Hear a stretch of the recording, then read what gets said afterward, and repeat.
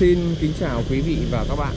Ngày hôm nay thì à, mời các bạn cùng khám phá một em máy xúc đến từ à, cái dòng họ Hitachi. Một em Hitachi được mang tên Hitachi Yasit 68 USR-5A Nhìn rất là hoành tráng phải không các bạn? Em này thì là một cái à, phân khúc to hơn 55 và nhỏ hơn 75 Dòng này là dòng có cabin điều hòa. Đấy. Nếu như mà thoạt nhìn vẻ sơ sơ ấy, Không nhìn lên trên cần kia thì à, chắc khả năng cũng không biết được con này là Hitachi hay là Dosan Vì nó cái màu nó cũng tương tự vậy Xong cộng thêm cái phần uh, cổ cứng này nữa. Nên là cũng không khác gì nhau đây, một em này khá là lý tưởng để cho chúng ta sở hữu. Con này thì à, hiện tại bản con này thì à, có luôn quả gấp gỗ rất là xịn sò này. Đây, quả này là quả gấp gỗ rất là tiện lợi. Có vẻ như là bây giờ máy Nhật họ cũng bắt đầu chơi à, full đồ như thằng máy Hàn để cạnh tranh rồi. Đấy, có thao lắp nhanh luôn có cả đường búa đường beo rồi có cả cái kẹp này rất là tiện trong cái việc đi à, gấp à, cây gấp cối gấp cỏ gấp rác. Nhưng mà được một cái là thằng máy nhật này thì à, nó lại có cái phần guốc cao su ở trên xích này. Đấy như thằng máy xích của Hàn ấy thì thông thường sẽ không có các bạn nhé. Nhưng mà thằng máy Nhật bao giờ xích nó cũng có gắn guốc cao su. Cái việc gắn guốc xích cao cao su này ấy, nó sẽ giúp cho chúng ta là di chuyển trên đường nhựa cũng rất là tuyệt vời. Đấy. À, ngoài ra nữa là khi mình ờ, vào làng vào xóm ấy nó cũng không đỡ kêu. Đấy. Ờ, con này cùng chiêm ngưỡng ờ, về chân cẳng nó trước này. Đấy. Guốc xích cao su còn dày dặn và khá là mới chứng tỏ con này di chuyển ít này. Cầu xích rồi nhông sao này. Gầm quá khô luôn khô đét đẹp luôn. Đấy, thời điểm này mà kiếm một con máy mà gầm bệ khô đét như vậy thì hơi khó đấy. Con này thì à, đây có luôn à, quả cổ cứng. Rất là thích hợp cho việc chúng ta gắn búa đục rồi à, kìm kia. Bản này thì cũng vẫn có đầy đủ ben nhé. Có ben giúp cho chúng ta có thể cân bằng trong cái việc là làm việc. Ngoài ra là tác dụng ủi mặt bằng, mặt phẳng nữa. Rất là lý tưởng. Đây, logo của thằng à, Hitachi. Dòng này là một cái dòng là đối trọng tròn, quay luôn trong xích. Rất là phù hợp để khi mà mình đi làm ở trong cái địa hình như là chật hẹp, quay tiếp được. Rất là xịn sò đấy. À mình chiếm ngưỡng động cơ coi wow. đây. Ở khoang này là khoang chứa cái động cơ của à, còn uh, Hitachi Yasit 68 USR 5A này. Toàn bộ phần máy đây và đây là phần lốc điều ngoài. Con này uh, thì chắc chắn không có gì xa lạ rồi. Con này thì uh, sử dụng uh, động cơ của Janma nếu mà như mình nhìn từ xa này thì uh, gần gần giống với thằng uh, Dosan đấy từ cái phần uh, cục điều tốc rồi lọc dầu rồi máy móc rồi. Kiểu nó gần giống như vậy. Con này sử dụng động cơ 4TNV94L Đấy. 4TNV94L nên là rất là giống với thằng à, đồ xa. À, con này đạt à, khoảng uh, 35,3 mãi lực. Đấy. máy thì à, long lanh cành đảo. Nhìn từ xa.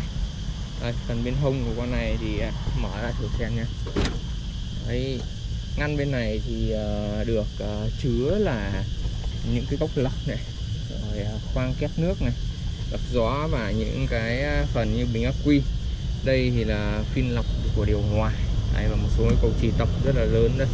Khoang rất là rộng. Có những cái lưới tản nhiệt đây giúp cho máy của chúng ta là thông thoáng. Đấy. duy nhất là bơm thì uh, nó nằm sâu phía ở bên trong kia không cho các bạn xem kỹ hơn được. Đây bơm phần trong đây. Quá là đẹp mắt luôn.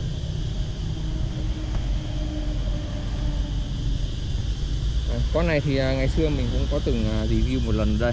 Logo 68 USR năm ma đây, và xem cái tem kích thước của nó chuẩn thì nó nằm ở đây. Rất là thông thoáng đây. Và Hitachi à, ra ship 68 USR trừ 5 ma một ráng series của nó đây. Có đầy hết rồi.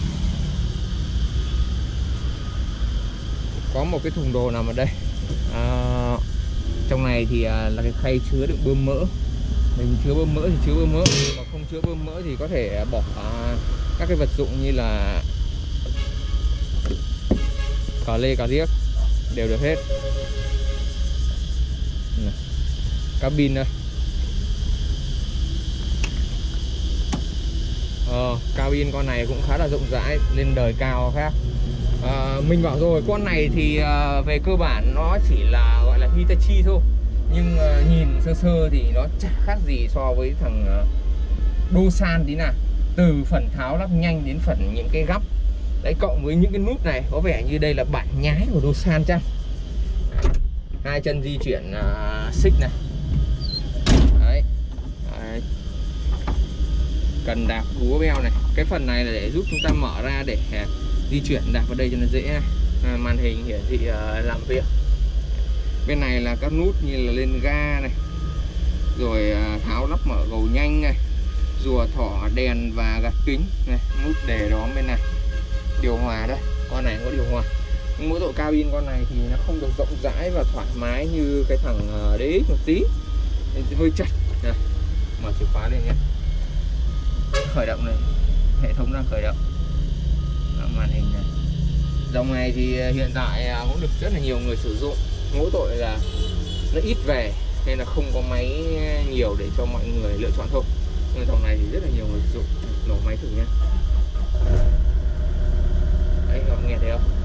Ngồi trong cabin nghe cực kỳ êm luôn không có gì hết. À, cũng có báo giờ này. Giờ làm việc này các chế độ này báo nhiệt độ dầu ờ, báo nhiệt độ nước và ờ, nhiên liệu còn bao nhiêu này? Rất là êm này cái con này thì ờ, cũng là một cái phiên bản thu nhỏ. Nhưng mà mỗi độ cabin nó hơi chặt thôi. Nhưng dòng Hitachi dùng thì không phải bàn cãi gì các bạn ạ. Rất là đẹp và lắm cả một con máy Hitachi. Đấy, nếu như mình để một cái góc như thế này này mà mình uh, quay thì có khả năng à, à, giống hệt như con máy Dosan 60 máy nằm theo dọc thân máy ấy. Vì con này nó đầy đủ cả à, kẹp gầu nhanh này rồi cả gấp gỗ như thế này thì bảo sao không giống như thằng Dosan được rất là lý tưởng nếu như mà chúng ta không thích dùng máy à, uh, 55 vì nó nhỏ thì chúng ta có thể nghiên cứu đến dòng 68 thì dòng 68 thì rất là vừa vặn ngoài ra nữa là nó còn uh, nhỏ hơn các dòng máy à, uh, 75 một chút xíu. Nói chung là về công suất về các thứ thì nó cũng khá là tương đương thôi. Nó tương tương tương đương tầm đấy thôi. Nhưng mà đây là một cái sự lựa chọn cũng rất là lớn à, để cho anh em khá là lựa chọn. Như vậy thì hôm nay mình cũng đã giới thiệu thêm ờ, một số chi tiết nhỏ nhỏ về con Hitachi Jasit 68 USR trừ 5 ma này. Video của mình kết thúc tại đây. Xin kính chào và hẹn gặp lại các bạn trong các video lần tiếp theo.